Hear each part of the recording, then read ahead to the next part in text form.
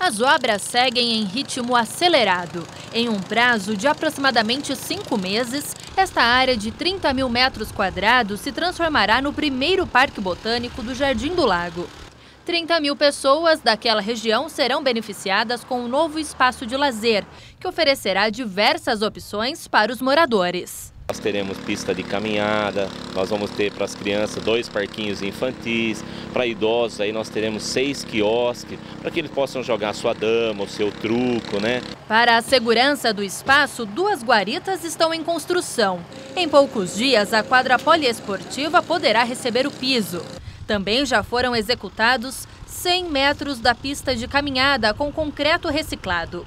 Tudo para garantir que os moradores tenham mais qualidade de vida. Além de fazer toda a manutenção da cidade, recuperar e entregar áreas de lazer para que a população venha participar e possa, no seu, na sua região, né, ter uma opção, né?